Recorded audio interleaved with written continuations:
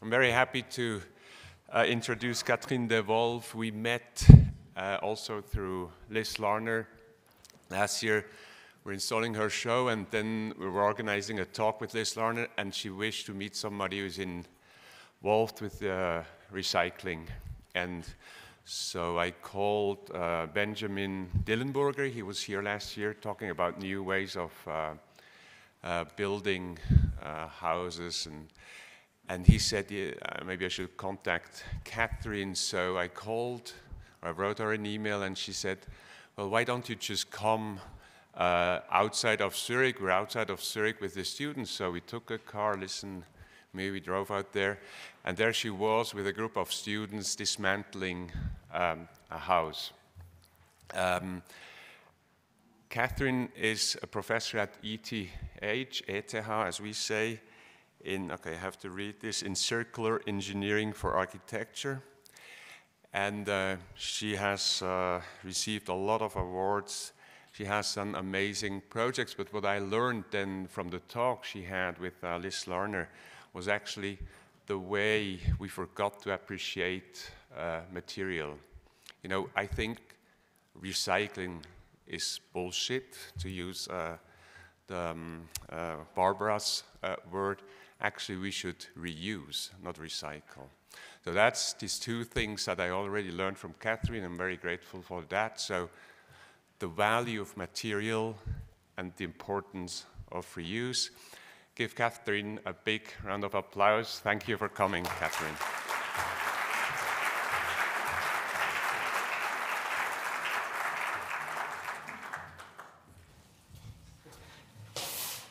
Thank you very much, Daniel, for this very kind introduction. Uh, I'm very happy to be here, uh, dear friends of the arts, uh, to talk about hope.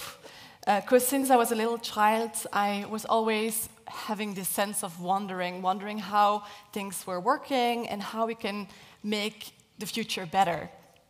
Um, and that's what really made me become a professor, because I can keep learning and I can keep transmitting knowledge to my students. Uh, and you see here uh, the playing with Lego, and I always was playing with Lego when I was little because I really liked the fact that I could build any structure and then unbuild it and rebuild something new indefinitely, right? And I think this is what got me into circular architecture in the sense of reusing building materials, uh, as opposed to a linear economy in which we extract raw materials, we produce materials, we use them, and then we dispose of them. So I think we need to go towards a more circular construction industry in which we do much more reuse of buildings and building materials. Now, as an engineer and as a scientist, I had the opportunity to work for the engineering company Elioth, which was doing the renovation of the Centre Pompidou in Paris.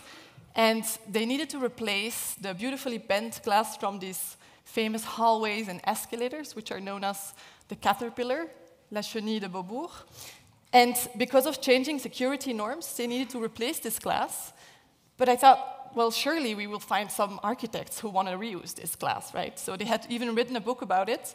Um, but there is a long process of carefully disassembling this glass and then finding a new home for this glass. But luckily, I called everyone I know in my network in Paris, and through some colleagues, I found the firm called Maximum, uh, who just opened a chain maximum architecture, uh, and had a client who was looking for this beautifully bent partitioning wall, which was a perfect fit for the reuse of this glass.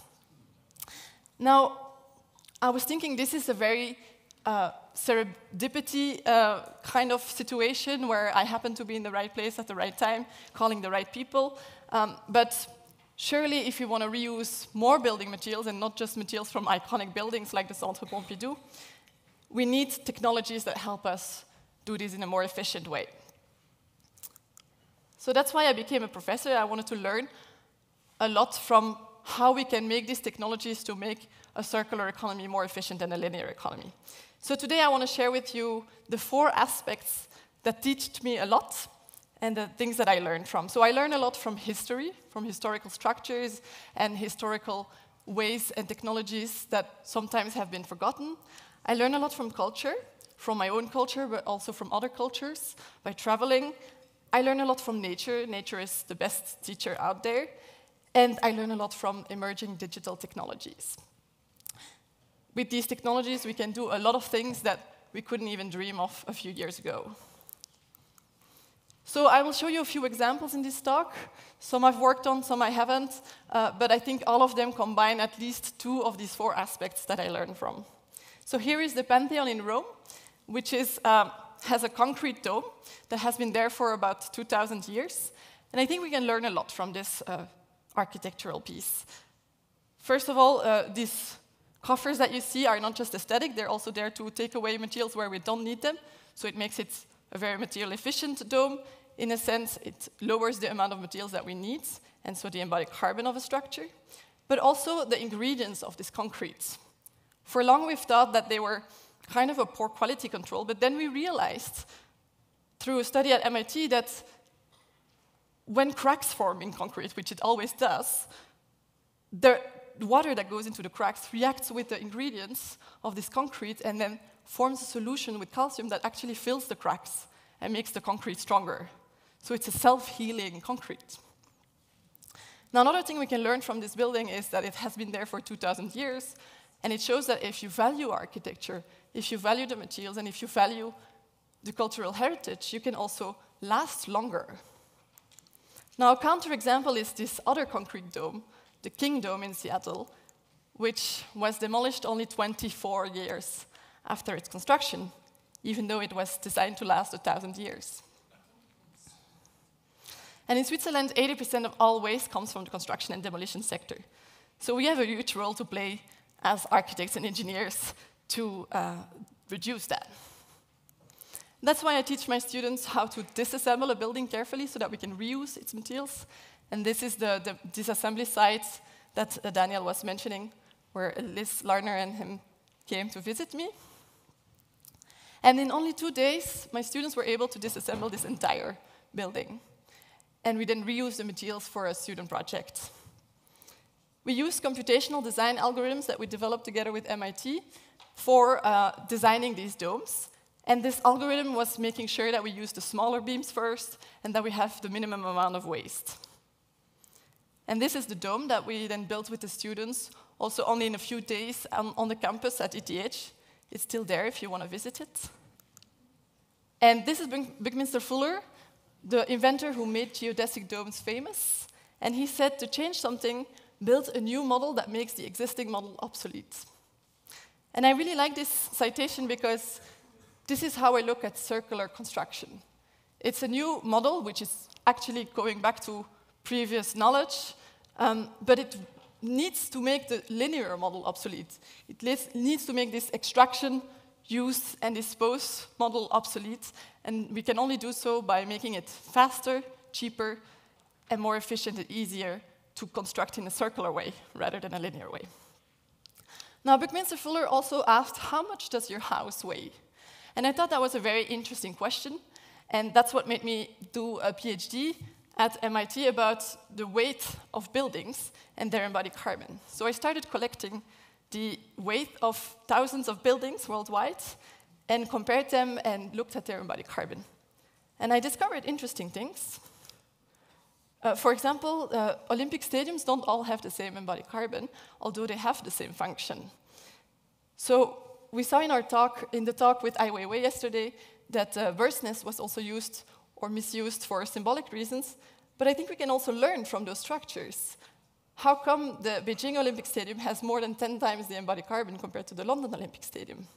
And so I did a workshop with the International Olympic Committee in Lausanne to kind of see if we could disassemble and reassemble these structures because it's a bit crazy that we build such huge infrastructure for a single event every four years in another city.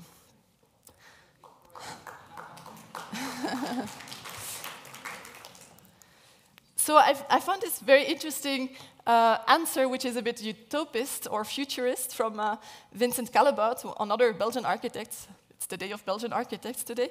Um, and, um, and he thought about why don't we build a stadium on a ship that can kind of float from city to city. Uh, so he called it Oceaniums. Um, and he thought about how we can we use reuse materials, how can we use renewable materials, and how can we make a whole uh, biodiversity system on there to improve uh, the, the, the world instead of depleting the resources. So I also like to travel, and I travel to the Machu Picchu in, in Peru, and this is an incredibly inspiring space uh, with, a, with a real genius loci, a real spirit of the place that helped construct this. And not so far from this uh, Machu Picchu is this Inca bridge, this Winchiri bridge, where villagers on both sides of the river come together every year in a three day festival where they cut the grass from the hill and they weave this into this bridge. So, this construction tradition has been there since the Inca times. I think this is really interesting also, this transmission of knowledge throughout time.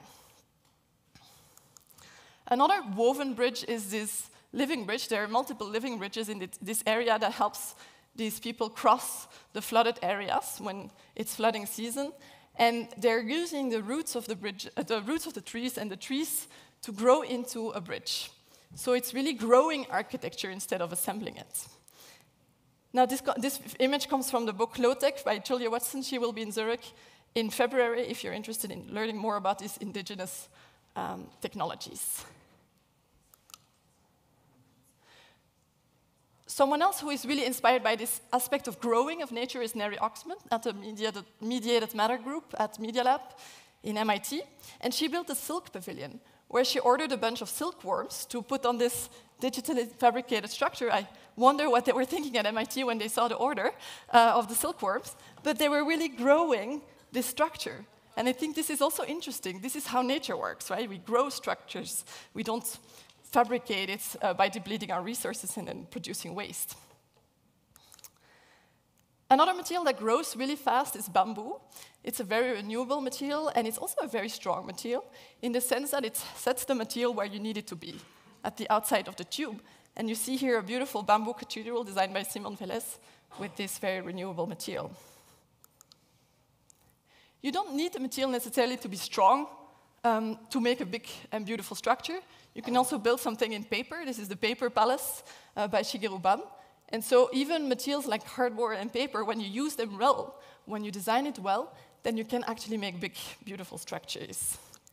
Another example of this is the Mapungubwe Interpretation Center in South Africa, which uses the Guastavino tile vaulting system, which my uh, PhD advisor at MIT had written a book about.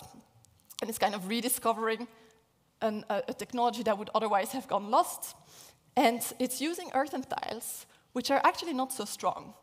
But by using it in this configuration, it makes a very strong and thin vaulted space. And I think uh, uh, I, if I had known that Mr. Foster was there today, I would have also shown his drone airport, uh, which also uses this technology.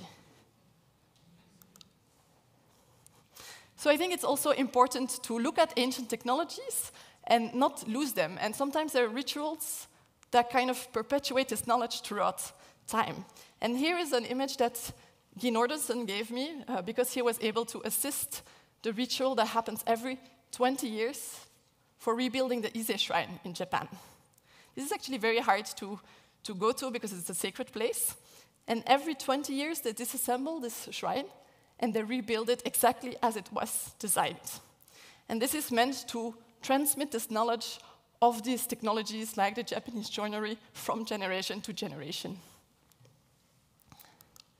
And so we did this also with uh, cabins for a school, for a school in the forest in Saxon, where uh, we looked at typical Swiss construction technologies from before in the mountain, so it's the same technology as all of the chalets that were in that mountain.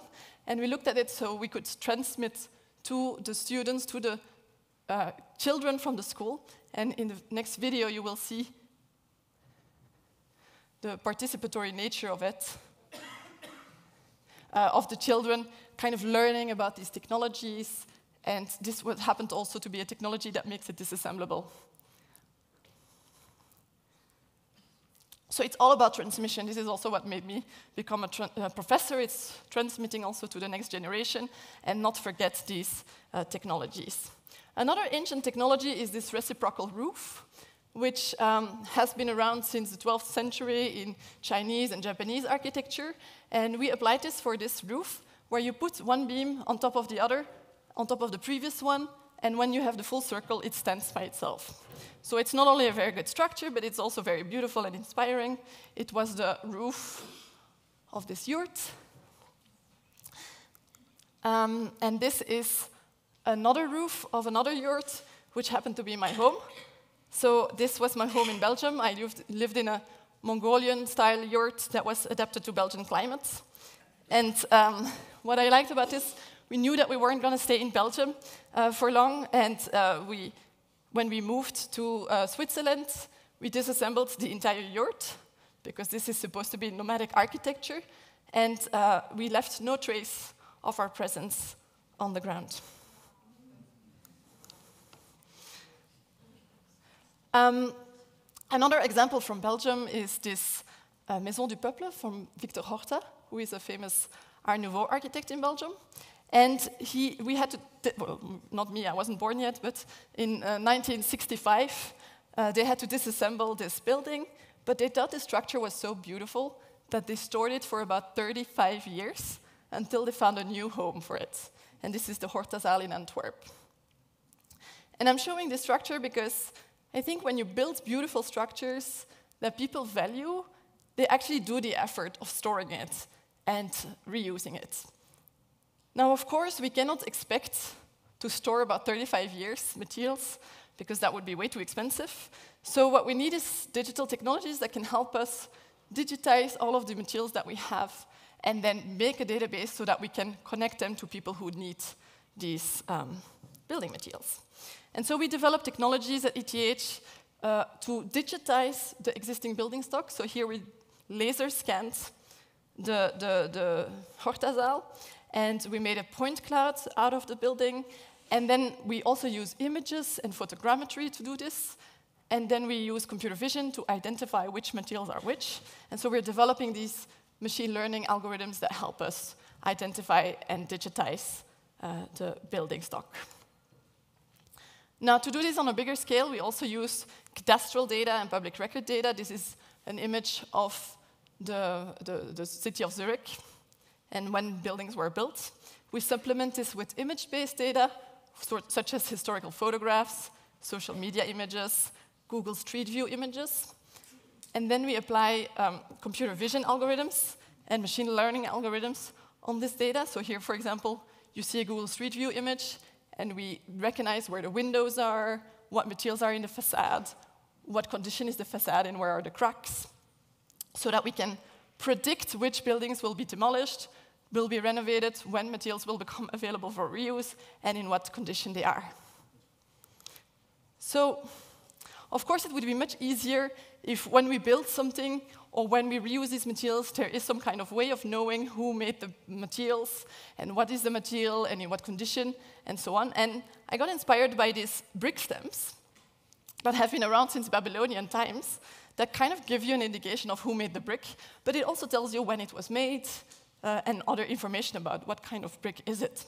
And I thought, wouldn't it be great that every material has some kind of tag some, an RFID chip or a QR code or an NFC chip that kind of can be scanned and leads you to a database of what is this material, what are the dimensions, what condition is it, where was it before, what has it been through, so that we can actually have information to design with. So a material passport of the building. And so on the beams that we um, disassembled from the building that Daniel and Liz Larner have visited, we engraved QR codes to make a pavilion at ETH, the Dome Pavilion.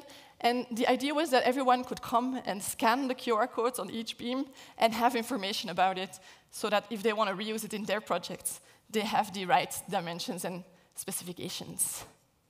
So the, the goal, the ultimate goal is really to connect people with each other. I want to connect people who have materials available for reuse because they're disassembling their building, and people who want to design with reused materials. I want to create a Tinder for reuse. going further in that automation, uh, I was also, um, because I'm at ETH and I'm part of the NCCR on digital fabrication, and some of you have seen Benjamin's work last year, I was also thinking about how can we use digital fabrication techniques to help us with reuse.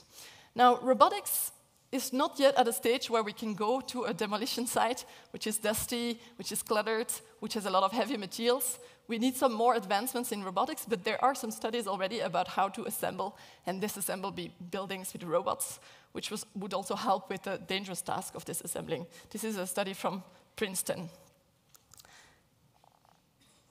Here you see robots in ZenRobotics, which are using AI to detect which material is which from a construction waste recycling facility, where they uh, put the uh, beams in the right bin. So I think you saw here that they put some wood in the bin on the right.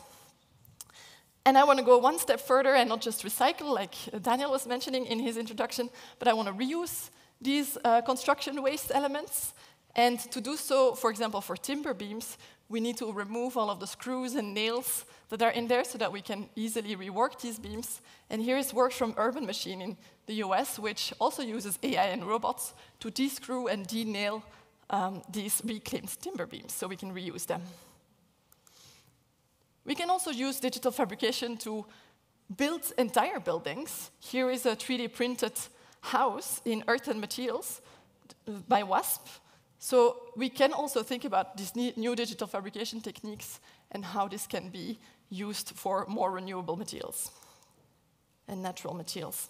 So I also used digital fabrication for the dome project. Here you see me disassembling a pipe uh, from the building that was set for demolition, uh, but the pipe was not the exact dimension I needed for the connection of my dome because that's how it happens in reuse. It's not always a perfect fit, and so we need to make it a perfect fit, and therefore I use digital fabrication techniques such as CNC milling, where we use this OSB plate that would have otherwise gone to waste, and we cut round shapes that would strengthen these pipes. This would have taken us hours to do by hand, and it wouldn't have been precise enough to do uh, what it needed to do.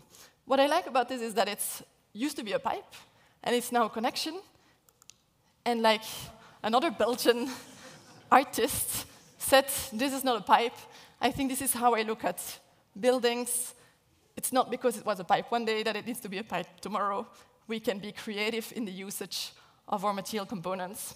And that's what we did with the dome. And I think, talked about this pipe connection, I think the most important takeaway that I want you to take home is um, it's all about connection. The most important lesson I learned is reuse only happens because you connect the right people, like we saw for the Centre Pompidou, for example. Um, we need to connect people, and that's why I wanted to create this Tinder for reuse. Uh, but I think um, what gives me hope for the future is that I was invited as an engineer, as a scientist, as an architect at an art talk, and I think it's very important to connect disciplines, art, science, engineering, architecture, and way more, because that will give me hope for the future that we can go towards a circular construction. Thank you.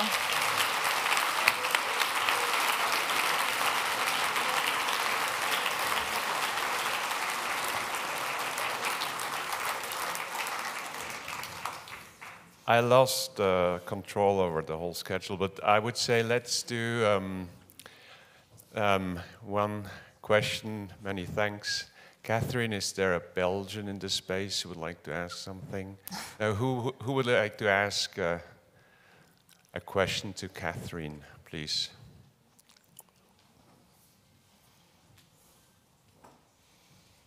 Oh, you got one. Hello, I, I really enjoyed the talk. It was super interesting. I was wondering if this idea of database where uh, the constructor can put the materials uh, that they that is able to be reused and their location um, and connected with people who would be able to build with it? Is it something that is already happening? And my other question is like, like I think that would be something very interesting for artists and art institution as well, because so much of the materials of the drywall and the pedestal could be reused, and it's just an absence of knowledge that uh, is is is in the way, I would say. Mm -hmm. Yeah, thanks for your question. I think, uh, let me scoot over so I can see you. um, I, um, actually, we, we learned uh, also from the artist world because a lot of artists actually do reuse of materials. And one example here in Switzerland is Materiuum, who does this for architecture, where they connect people who have uh, demolition sites and people who want to reuse building materials. And they started out as um, ressourcerie of, um, of materials for artists. Um, so it is something that is also very valuable for artists. Um, and it does exist. There's many platforms that already exist. Uh, maybe some of you might know Madaster, which is doing this more for the future. So when you build something new, you uh, put in your building information model with all of the data attached of your building. For the future, there's um, platforms that do it also from whatever is already in the existing building stock. Um, in France, there's, for example, CycleUp who does that. Um, in, uh, there's many different kind of business models in that. In Belgium, Rotor is very famous for that. Uh, in, in, Switzerland, there's many companies going from Salza to Materiuum uh, that have uh, tiny differences in business models. We're trying to uh, kind of put them all together uh, into a, an association called Circla here in Switzerland, um, where um, because the, the, idea is that when you, for example, want to reuse a door, there's many doors that are easily um, reusable, but then you have to go on five different platforms kind of to find the right fit. So we want to kind of harmonize this. Uh, there's also Use Again in Switzerland that's trying to do that. So I think one important way with these databases is that we harmonize things and that we, and reuse needs to happen also on a very local scale. And so I also don't want it to happen too much on a national scale. For example, if you want to reuse something in Basel, uh, I want it to be possible to reuse something from France or from Germany as well, right? That you're not just limited because it's one government who did the, the, the, database. So there's lots of research to be done about how we actually built this database so that it's actually useful for construction because this only can happen if it's on a large scale and we have a, a large amount of materials available in the catalog. Thank you. One more last question. Um, there is a question there. Oh, it's coming. Thinking this big, this would mean that we can reinvent capitalism because this would maybe then also bring corporates like the cement industry mm -hmm. to collaborate with you and really and really I think also think uh, differently about growth. Are they co cooperating already? Yeah, I have lots of uh, interesting conversations with Holcim uh, at the moment, for example. They are um, definitely aware that they need to become more circular for their business to be sustainable in the future.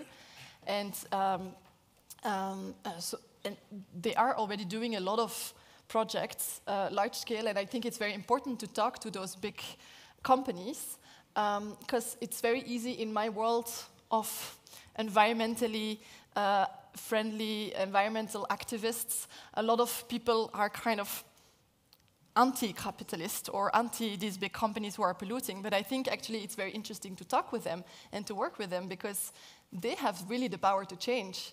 Um, I, I, had a conversation with someone from Holcim who told me, like, they alone are uh, a certain number of percentages of the whole, all of our greenhouse gas emissions. And so if they change, it really has an impact. So I want to, of course, I show I showed also small projects because it's also about transmitting to the students, and I want something that is manageable in the classroom. But I also work with big companies because I think if they change, then it really has an impact on the on the environment.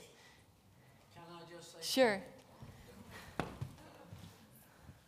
I'd really just like to reassure both of you that um, that really it's, what you're showing is a very important tip of, of a much larger iceberg, a movement.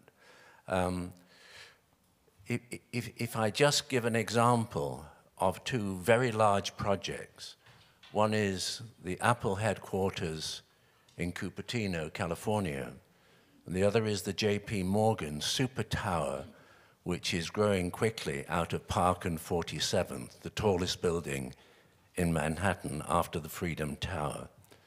And Cupertino, the original site, was 24 buildings.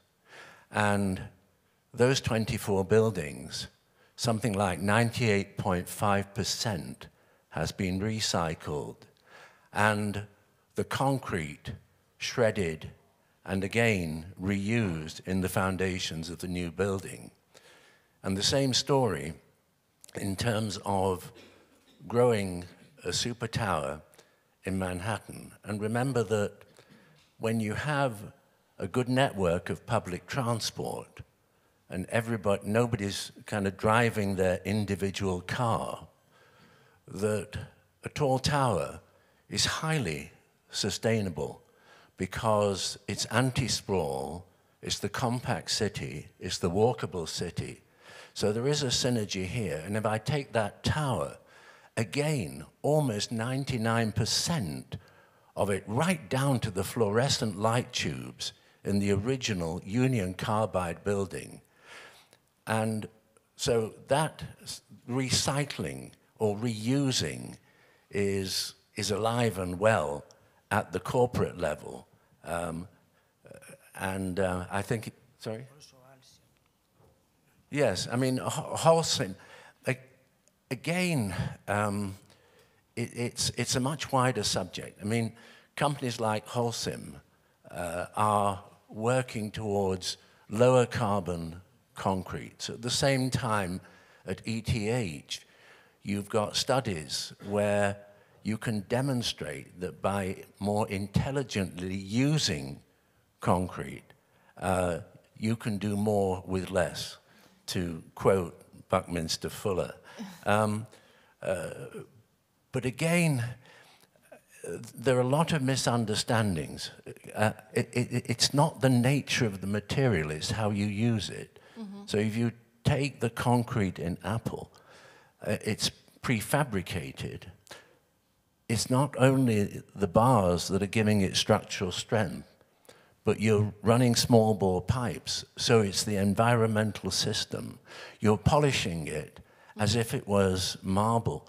You're, that's the finish. Mm -hmm. You're not then adding layers of carbon intensive material. So if you're using a material like that and stretching it to its limits, mm -hmm. and it's doing many different jobs, then it's highly sustainable. Yeah, and if I, I could go on, yeah. and I don't want to go on too long, but, but, but anyway, but if no, just to say congratulations, I loved your talk, and I loved you. everything behind it. Uh, it was great. Thank, Thank you. you very much.